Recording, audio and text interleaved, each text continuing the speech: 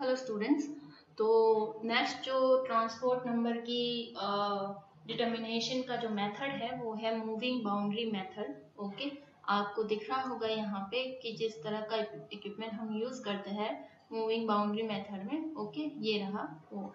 Fine अब इसमें basically क्या होता है देखो।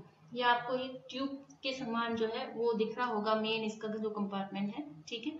यहाँ पर भी दो इलेक्ट्रोड लगे हुए होते हैं दो इलेक्ट्रोड में जो है, ये प्लेटिनम का इलेक्ट्रोड होता है, यहाँ से ये प्लेटिनम का वायर होता है ओके और ये प्लेटिनम की जो इलेक्ट्रोड लगा हुआ होता है, यहाँ पे प्लेटिनम का प्लेट का ओके तो ये जो है प्लेटिनम का इलेक्ट्रोड ये हमारा क्या है? ये प्लेटिनम का इलेक्ट्रोड हमारा कैथोड कहलाता है फाइन दूसरा जो यहाँ पे इलेक्ट्रोड लगा हुआ होता है, ये वाला इलेक्ट्रोड ये जो है, वो कैडमियम का इलेक्ट्रोड है कैडमियम की छड़ है जो कि क्या काम कर रही है? एनोड का काम कर रही है यहाँ पे।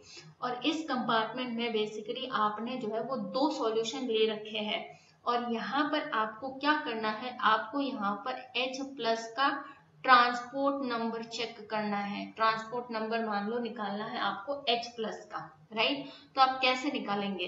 तो उसके लिए हमने एक सॉल्यूशन लिया है HCl इस HCl में जो H प्लस है, ठीक है, उसका आपको ट्रांसपोर्ट नंबर निकालना है। तो उसको निकालने के लिए आप फिर एक जो है वो सॉल्यूशन लेते हैं कैडमियम क्लोराइड यहाँ पे जो कैडमियम क्लोराइड है, वो as a indicator solution use हो रहा है।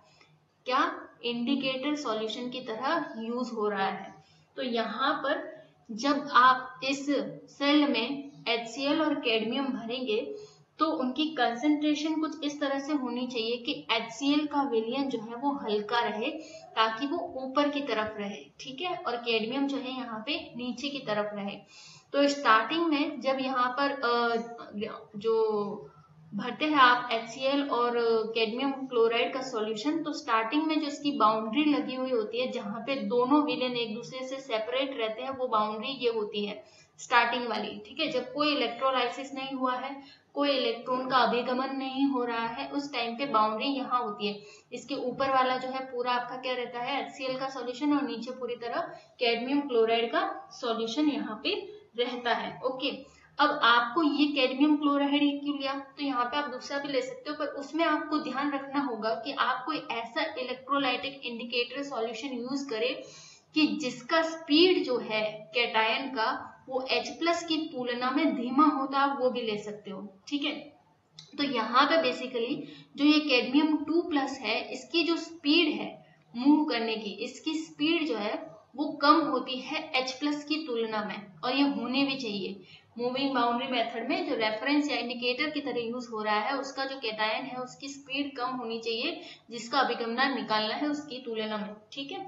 तो यहाँ पे ये इस तरह से इनकी स्पीड भी मैटर करती है और एक इम्पोर्टेंट कंडीशन और क्या है कि दोनों में जो एनायन है, यानी कि जो इंडिकेटर है और जो मेन सॉल्यूशन है जिसका अभिगमनांक निकालना है, उन दोनों में जो एनायन है वो सेम रहने चाहिए। एनायन जो है वो सेम रहने चाहिए। जैसे कि यहाँ पर एनायन क्या है? यहाँ पर एनायन क्या है? यहाँ पे है क्लोराइड और यहाँ पर भी एनायन क्या है? यहाँ पे भी एनायन आपका क्या है? क्लोराइड है। ठीक है? तो पहली कंडीशन क्या है? देखो कंडीशन नंबर वन यहाँ पे मैं आ, पूरी कंडीशंस बता देती हूँ आपको कि आपको निकालना है ट्रांसपोर्ट नंबर H प्लस का ठीक है? ट्रांसपोर्ट नंबर निकालना है आपको H प्लस का तो आपको सॉल्यूशन लेना होगा HCl लिया ठीक है? ये इस फॉर्म में रहता है। इस फॉर्म में। इसके लिए आपने क्या लिया? कोई ऐसा सॉल्यूशन लिया जिसका क्या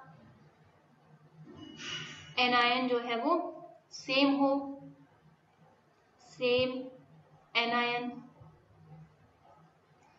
डेंसिटी अगर कहे डेंसिटी तो कैडमियम क्लोराइड की डेंसिटी ज़्यादा होनी चाहिए HCl से, ताकि ये क्या नीचे की तरफ़ रहे या HCl ऊपर की तरफ़ रह सके, ठीक है? इसके अलावा जो स्पीड ऑफ़ कैटायन है। वो हमेशा H प्लस का ज़्यादा होना चाहिए कैडमियम टू प्लस से, ठीक है? तो ये सारी कंडीशन है यहाँ पे कि ये इस तरह से होना चाहिए, ओके? अब जो है यहाँ पर देखेंगे हम यहाँ पे कि ये जो पूरा हमने सिस्टम दे रखा है उसको आगे फिर किससे जोड़ते हैं? उसको आगे हमने बैटरी से जोड़ रखा है। हर जगह जो हमने देखा है, ठीक है? आगे ये हमारी बैटरी है, ये हमारा जो है रेजिस्टेंस बॉक्स है, ये हमारा मीटर है, ये वोल्ट मीटर है हमारा पूरा सिस्टम ठीक है? तो ये पूरा इस तरह से सिस्टम हमारा जुड़ा हुआ होता है। अब आप इसमें करते हैं धारा प्रवाहित, ठीक है? तो जैसे ही आप धारा प्रवाहित करेंगे, ये H प्लस और ये कैडमियम टू प्लस क्या करेंगे? ये मूव करेंगे इस कैथोड की तरफ़। ये क्या मूव करेंगे इस? कैथोड की तरफ़। और जो क्लोराइड है दोनों के, वो कहा मूव करेंगे? एनोड की तरफ़। तो क्योंकि जो है एनायन वो तो सेम है, ठीक है? एनायन हमारे सेम है, इसलिए उनकी स्पीड भी सेम होंगी। एनायन सेम तो स्पीड भी सेम होगी दोनों की। तो यहाँ पे तो हम कंपेयर कर नहीं सकते, ठीक है? पर क्योंकि यहाँ पे हमने कहा कि H प्लस की स्पीड ज़्यादा है कैडमियम टू प्लस से तो यहाँ पे जो हमारा पहला जो यहाँ पे कहते हैं कि डिवाइड देखने डिवीज़न देखने को मिला था यहाँ पे दोनों सॉल्यूशन के बीच में, ये आप देखेंगे कि टाइम के साथ क्या करता है, ऊपर की तरफ़ मूव करता है, ठीक है? क्यों? क्योंकि हाइड्रोजन H प्लस यहाँ पर बहुत तेज़ी से आगे बढ़ते हैं और उसके पीछे पीछे जो है वो कैडमियम टू प्लस भी बढ़ता है। तो ये जो यहाँ पे डिवीज़न देखने को मिल रहा था, आपको लेयर देखने, ये धीरे धीरे आपको दिखेगा कि ऊपर की तरफ़ बढ़ने लगती है। और जब हम धारा प्रवाह हम बंद कर देते हैं तो यहाँ पे फाइनली यहाँ पे आके ये दिखता है डिवीज़न बाद में। तो यहाँ पे क्यों दिख रहा है? क्योंकि बहुत सारे H प्लस आयन जो है, वो यहाँ पे डिपोजिट हो चुके हैं। बहुत सारे H प्लस आयन जो है वो कैथोड की तरफ़ मूव किए हैं। ठीक है? कैडमियम भी किया है, पर क्योंकि वो वहाँ तक इतना तेज़ी से पहुँच नहीं पाएगा, क्योंकि कैडमियम की स्पीड कम है तो ज़्यादातर जो है यहाँ पे क्या H प्लस मूव किए हैं। ठीक है? तो अब यहाँ पे देखना है कि कंसंट्रेशन में जब यहाँ से, जब क्या यहाँ से यहाँ तक मूव हुए तो ये जो एरिया था, इसमें भी तो कंसंट्रेशन चेंज हुई होगी ना? इस एरिया में कितनी कंसंट्रेशन थी, वो कंसंट्रेशन H प्लस की डिपॉजिट हो गई यहाँ पे। तो हमें फिर चेक करना है कि यहाँ जो भी कंसंट्रेशन होगी, वो ही डिपॉजिट हुई है इधर, क्योंकि इतना मूव किया है। ओके पहले H प्लस कहाँ तक था? पहले H प्लस हमारा एच सी एल सॉल्यूशन हमारा यहाँ तक था। फिर इलेक्ट्रोलाइसिस के बाद यहाँ तक आया। तो ये पूरे एरिया में जितनी एच की कंसंट्रेशन होगी, या फिर एक तरह से कहे H प्लस की कंसंट्रेशन होगी, वो सारी इधर मूव की, ठीक है? तो ये कंसंट्रेशन हमें एक बार पता चल जाए तो हम आराम से जो है H प्लस का अभिगमनांक निकाल सकते हैं। तो उसके लिए तो पहले फिर इस एरिया का जो है हमें वॉल्यूम निकालना पड़ेगा कि इस एरिया में सॉल्यूशन कितना था हमारे पास। तो वॉल्यूम बेसिकली जो है, वो आप कैसे निकाल सकते हैं? ए से बी यहाँ पे ये एरिया है। ए से ए ए डैश से जो है हटा है, ये बी बी डैश तक पहुँचा है, ठीक है? बी बी डैश तक पहुँचा है। और ये जो आपको एरिया निकालना है, इस या फिर एरिया निकालना है, नहीं एरिया नहीं, यहाँ पे जो है आपको वॉल्यूम निकालना है। इस ए से ए ए डैश से बी बी डैश के बीच का वॉल्यूम तो वॉल्यूम निकालने के लिए पहले तो यहाँ से यहाँ तक का लेंथ कितना है डिस्टेंस कितना है तो उसको हम लेंथ से मेजर करेंगे, ठीक है? तो लेंथ कितना है वो चेक कर लेंगे। उसके बाद जो है, यहाँ का एरिया कितना है? इसका क्रॉस सेक्शनल एरिया कितना है? ठीक है? तो क्रॉस सेक्शनल एरिया को हम लिख लेंगे ए तो एल इंटू ए करेंगे तो हमें क्या मिल जाएगा? इस पर्टिकुलर एरिया में कितना वॉल्यूम था HCl का, वो हमें यहाँ से पता चल जाएगा। ठीक है?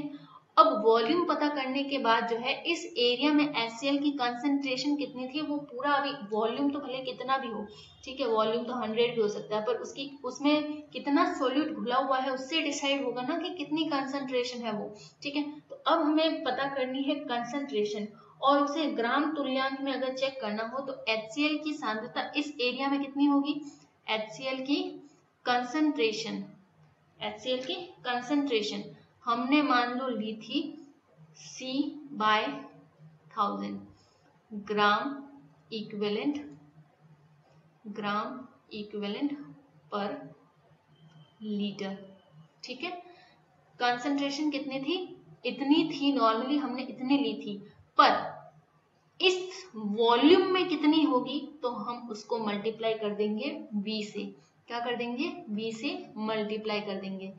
तो इस पर्टिकुलर एरिया में या इस पर्टिकुलर एरिया में जितना भी हमारे सॉल्यूशन का वॉल्यूम था, वो वॉल्यूम में एक्सीएल की कंसंट्रेशन कितनी होगी, वो हमें इस फॉर्मूला से जो है वो पता लग जाएगा, ठीक है? तो ओवरऑल जो हम एच की कंसंट्रेशन के लिए फॉर्मूला यूज़ करेंगे, वो होगा हमारा V की वैल्यू कितनी थी? L into A L into A और उसके बाद कंसंट्रेशन है C by thousand gram equivalent पर लीटर तो इतनी कंसंट्रेशन उस पर्टिकुलर एरिया में ए ए से बी बी तक मूव की है।